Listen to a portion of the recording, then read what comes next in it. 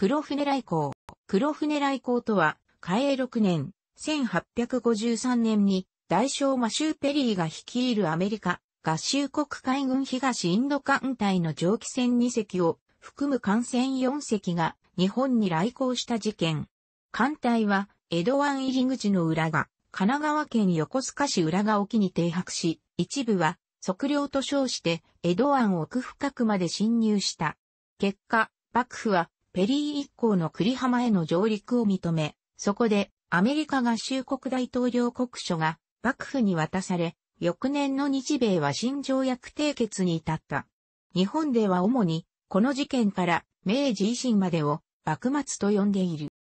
産業革命を迎えた西ヨーロッパ各国は大量生産された工業品の輸出拡大の必要性からインドを中心に東南アジアと中国大陸の清への市場拡大を急いでいたが、後にそれは熾烈な植民地獲得競争となる。市場拡大競争にはイギリス優勢のもと、フランスなどが先んじており、インドや東南アジアに拠点を持たないアメリカ合衆国は出遅れていた。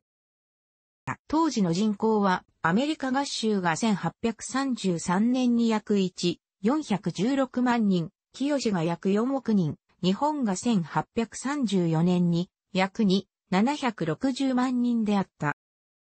アメリカは1833年にシャムとマスカットとの条約を締結することにようやく成功した。1835年には日本と清との条約締結のために特使を派遣することとし、この時に東インド艦隊が設立されている。この試みは成功しなかったが、アヘン戦争後の1842年に清との間に防火条約を締結し、中国市場へ進出することとなる。この条約の批准のために、東インド艦隊司令官、ジェームズ・ビドルが真に派遣されるが、ビドルは日本との条約交渉の任務も帯びていた。このため、1846年に浦賀に来航するが、条約を結ぶことはできなかった。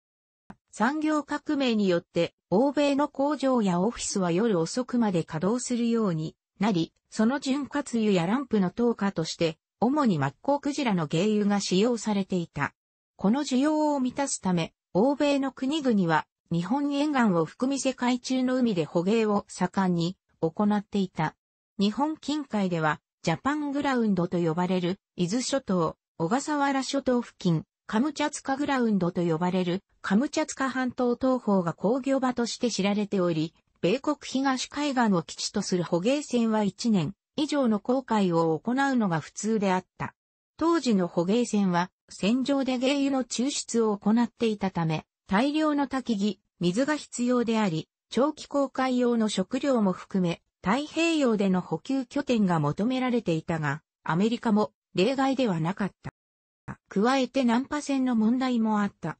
漂流民の保護は当時のアメリカ海軍の任務の一つであり、1849年にはジェームス・グリーンがナンパした米国捕鯨船乗組員を受け取るために長崎に来航してる。その費用の観点からも、太平洋に面する日本と条約を締結することは有利であった。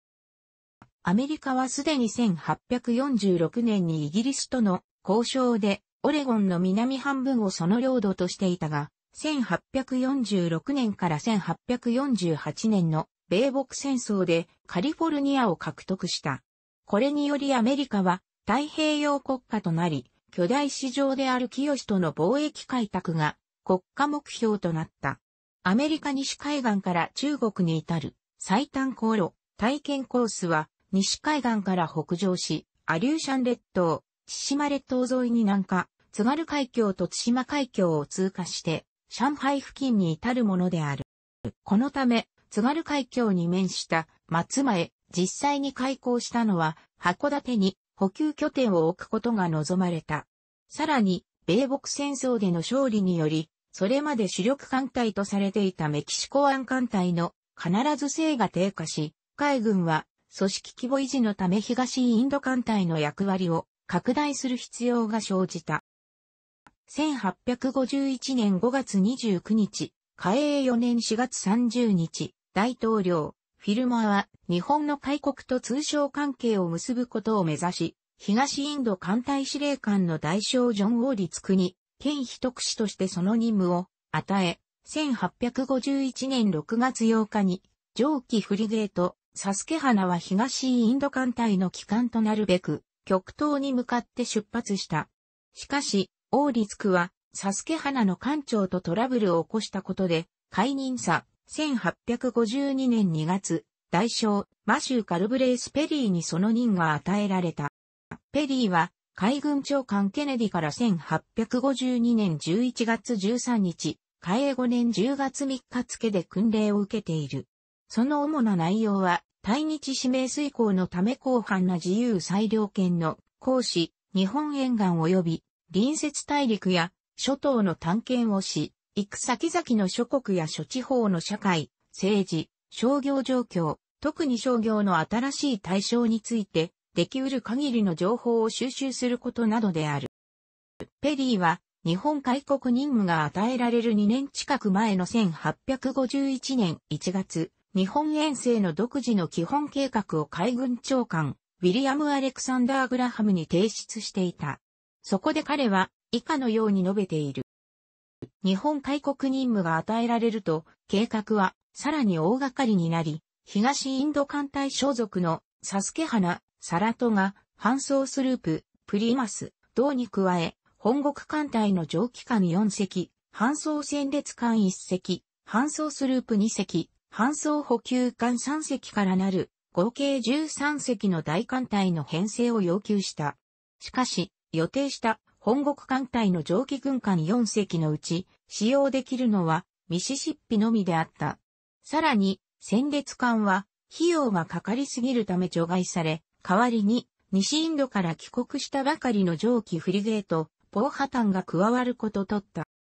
1852年7月21日、嘉永5年6月5日、オランダ省艦長のヤンドンケル・クルティウスは、長崎奉行に別段風説書、幕末で島未公開文書として保存されるを提出した。そこには、アメリカが日本との条約締結を求めており、そのために艦隊を派遣することが記載されており、中国周辺にあるアメリカ軍艦5隻とアメリカから派遣される予定の4隻の艦名とともに司令官が王立区からペリーに変わったこと、また艦隊は陸戦用の兵士と兵器を搭載しているとの噂があるとも告げていた。出港は4月下旬以降になろうと言われているとも伝えた。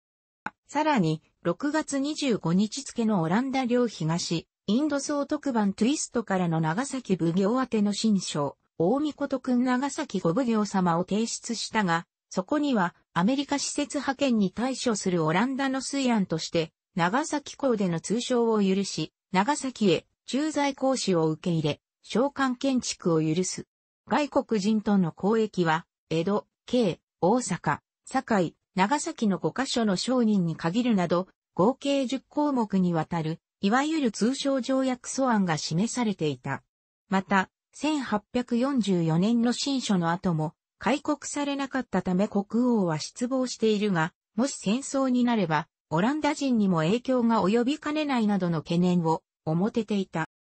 老中主座、安倍正宏は、夏頃には、ため缶詰の不大大名に、これらを回覧した。海岸防御御用係、解剖係にも意見を聞いたが、通商条約は結ぶべきではないとの回答を得た。また、長崎奉行もオランダ人は信用できないとしたため、以前にオランダ風説書でイギリスの香港総督、ジョン・バウリングの渡航が予告されたがそれはなく、すべての情報が正しいわけではなかった。幕府の対応は、三浦半島の防備を強化するために、川越藩、彦根藩の兵を増やした程度であった。加えて、幕府内でもこの情報は奉行レベルまでの上層部に留め置かれ、来航が予想される浦賀の頼記などには伝えられていなかった。他方、戸様の島津成明には年末までに、口頭でこの情報が伝えられたようであり、成明は翌年のアメリカ海軍東インド艦隊の琉球、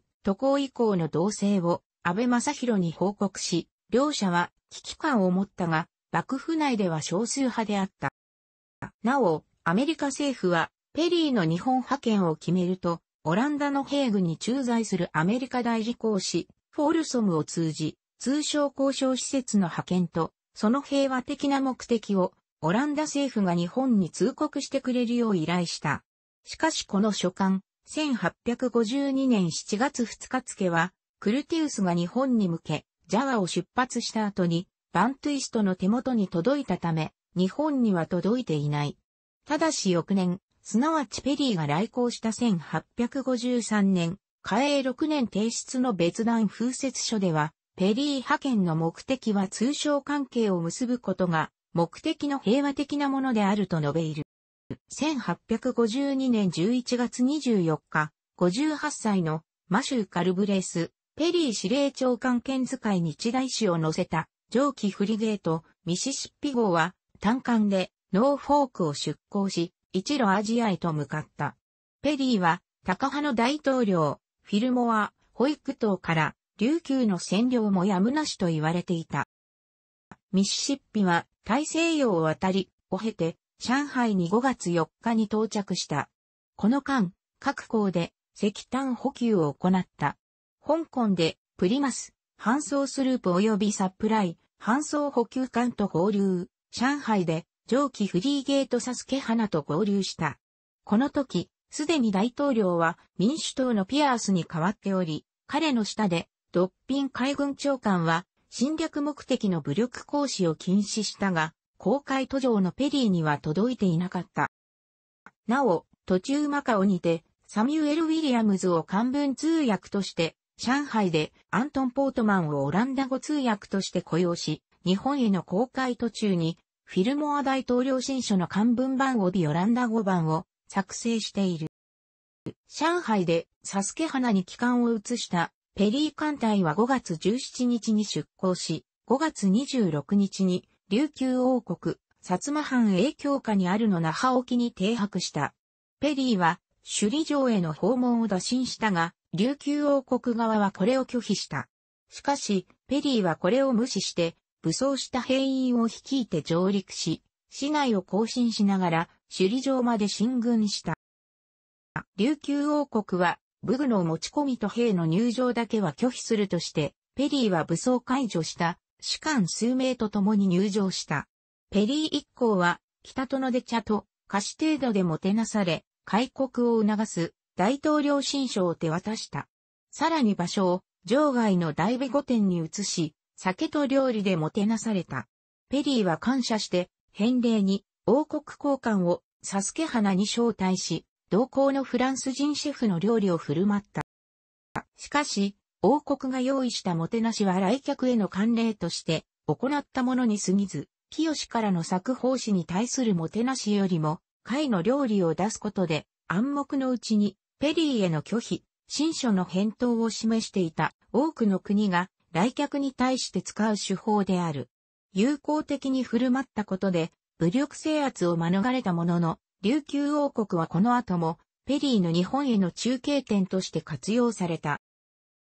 この当時の記録は、琉球側がまとめた、琉球王国表情書文書に詳細に記されている。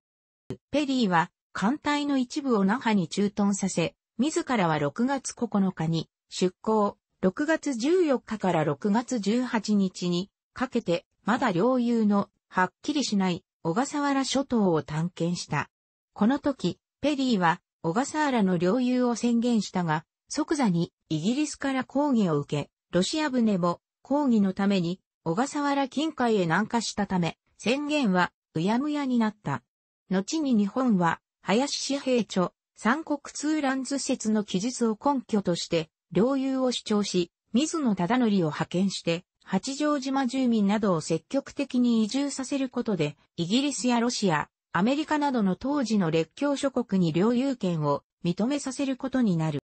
ペリーは6月23日に一度琉球へ帰還し、再び艦隊の一部を残したまま、7月2日に大統領からの新書を手に3隻を率いて日本へ出港した。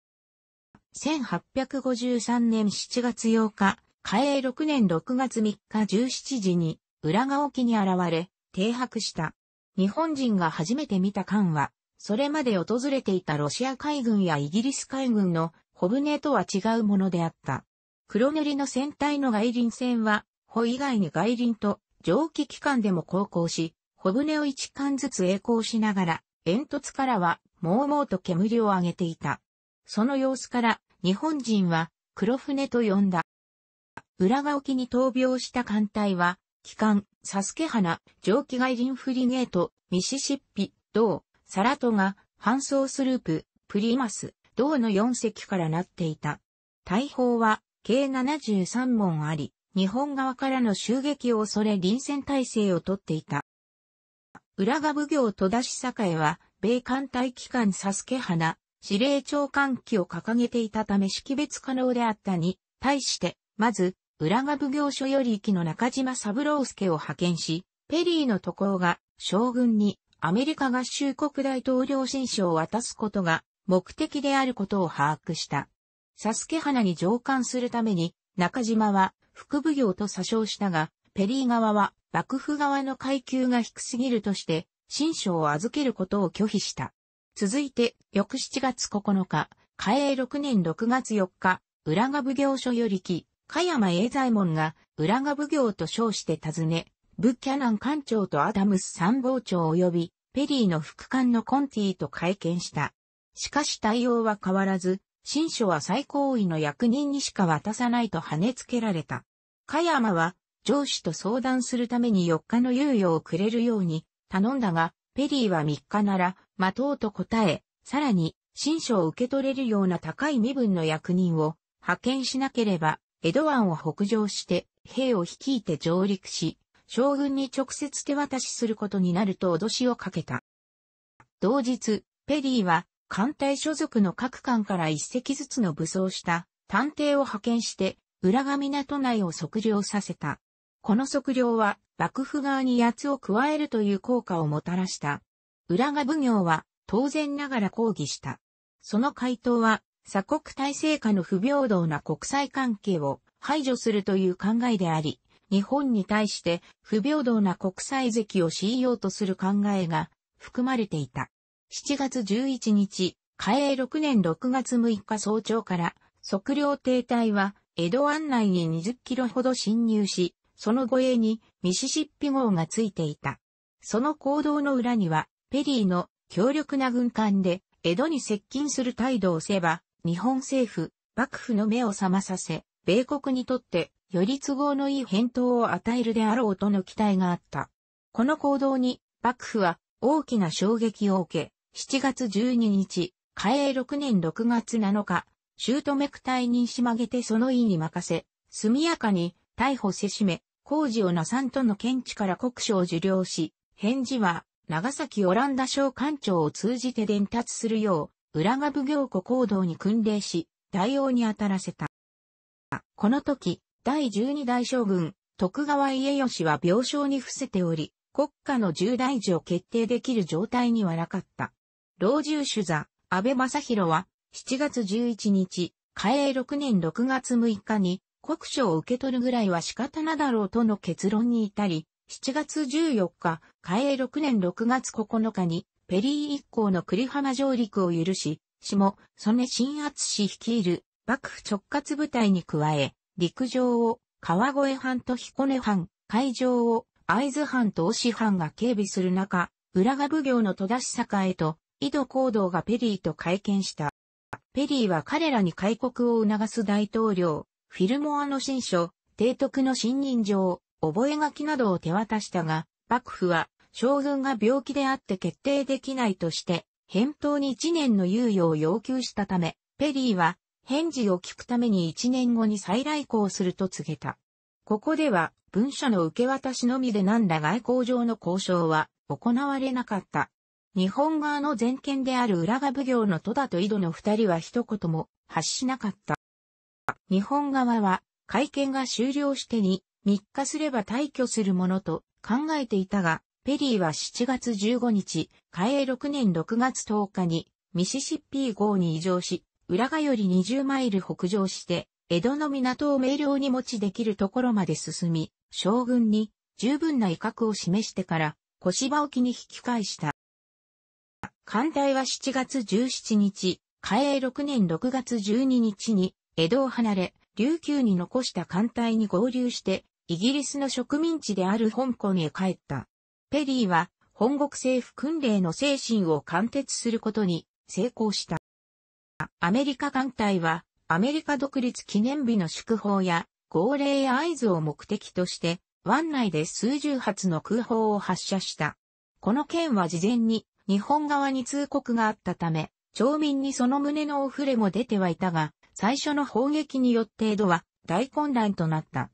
やがて空砲だとわかると、町民は砲撃音が響くたびに、花火の感覚で喜んだと伝えられる。来航翌日には、浦賀には見物人が集まり始め、翌々日には、江戸からも見物客が殺到した。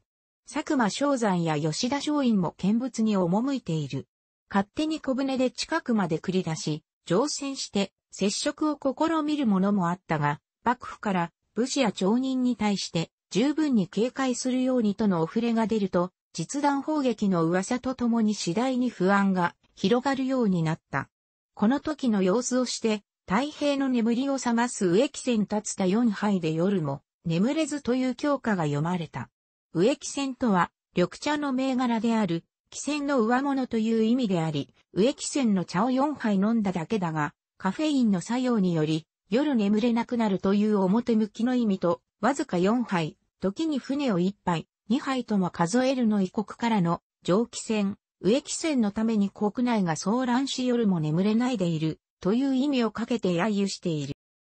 嘉永6年来航の艦艇の概要は以下の通りである。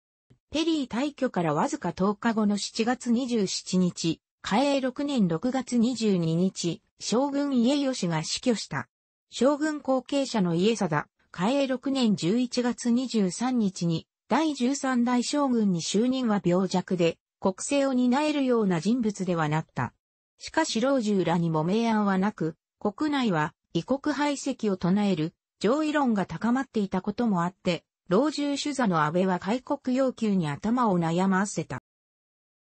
8月5日、嘉永6年7月1日、安倍は広く各大名から旗本、さらには庶民に至るまで、幕政に加わらない人々にも外交についての意見を求めたが、これは開幕以来初めてであった。国政に発言権のなかった戸様大名は喜んだが、明暗はなかった。これ以降は国政を幕府単独ではなく、合議制で決定しようという抗議世論の考えだけ広がり、結果として幕府の権威を下げることとなった。さらに安倍は、アメリカ側と戦闘状態になった場合に備えて、江戸湾警備を増強すべく8月26日、嘉永6年7月23日に、江川太郎左衛門らに砲撃用の大馬造営を命じた。江川は、富津観音崎、本木木更津、羽田沖、品川沖の4線の防御ラインを提案していたが、予算、後期の関係からまず、品川沖に11カ所の台場が造営されることとなった。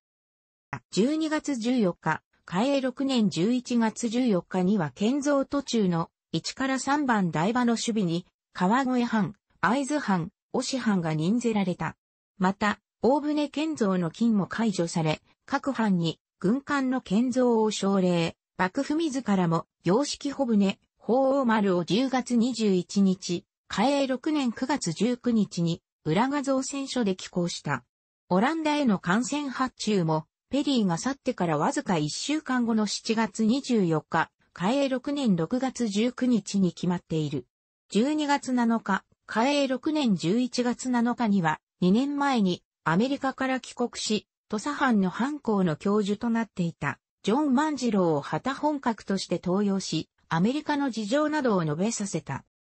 1854年2月13日、嘉永7年1月16日、ペリーは琉球を経由して再び浦賀に来航した。幕府との取り決めで1年間の猶予を与えるはずであったところを、あえて半年で決断を迫ったもので、幕府は大いに焦った。ペリーは香港で将軍家吉の死を知り、国政の混乱の隙をつこうと考えたのである。ここにペリーの外交手腕を見て取ることもできる。2月11日、嘉永7年1月14日に輸送艦サザンプトン、小舟が現れ、2月13日、嘉永7年1月16日までに、機関、サスケ花、ミシシッピ、ポーハタン、以上、蒸気外輪フリゲート、マセドニアン、バンダリア、以上、搬送スループ、レキシントン、搬送補給艦の6隻が到着した。2月12日、三浦半島の長井村沖の亀木という磯根に、マセドニアン号が座礁し、浦賀奉行所が座礁事件の第一報をペリー艦隊に通報。ペリー艦隊はすぐに救助を向かわせた。奉行所と彦根藩が助力を申し出たが、日本側の救助活動を待たずに、ミシシッピ号が到着して、ロープで引き出した。日本側は海浜に打ち上げられたバラストを拾い上げ、20マイルも離れた艦隊まで送り届けた。なお、江戸湾到着後に、機関はポーハタンに移った。2月13日から浦賀奉行所の組頭、黒川貨幣とペリー側のアダムス中佐で応接の場所について折衝が始まった。奉行所は浦賀の館裏に応接所を建てたが、ペリー側は納得せず、ようやく2月27日になって横浜で決着した。3月6日、横浜に応接所が完成し、3月8日、アメリカ側は総勢446人が横浜に上陸した。3月4日、嘉永7年2月6日に、サラトが搬送スループ、3月19日、嘉永7年2月21日に、サプライ、搬送補給艦が到着し、当時としては大規模な京急隻の艦隊が江戸湾に集結し、江戸は大きな動揺を受けた。一方で、やはり裏側には見物人が多数詰めかけ、観光地のようになっていた。また、勝手に船を出してアメリカ人と接触する市民もいた。突然の大艦隊の来航に幕府は驚いたものの、前回の来航の時同様に、日本側もアメリカ側も敵対的な行動をとることはなく、アメリカ側は戦場で日本側の使いに対しフランス料理を振るって歓迎した。その王教として横浜の応接所で最初の日米の会談が行われた後、日本側がアメリカ側に本前料理の昼食を出した。料理は江戸浮世、庄司桃川が2000両で請け負い、300人分の膳を作った。2000両を現代の価値に計算すると約1億5、0円近く、1人、あたり50万円になる。最上級の食材を使い、酒や吸い物、魚、本膳、二の膳、デザートまで100を超える料理が出された。しかし、肉料理が出ないのは未開であるためという偏見や、総じて生物や薄味の料理が多かったこと、一品あたりの量がアメリカ人にとっては少なかったことから、ペリーは日本はもっといいものを隠しているはずだと述回している。ただし、日本はできる限りのことをやったと述べたアメリカ側の人物もいる。3月8日の横浜応接所での交渉において、日本側はアメリカ大統領の新書に対して、浸水、食料、石炭の供与及びナンパ船と漂流民救助の件は了承するが、通称の件は承諾できないと回答した。林大学頭とペリーの応酬の結果、ペリーは通商の要求を取り下げた。翌3月9日、日本側がペリーに、避難港の開港に関しては5年間の猶予期間を置け、それまでの間は、長崎を当てるとする書簡を渡した。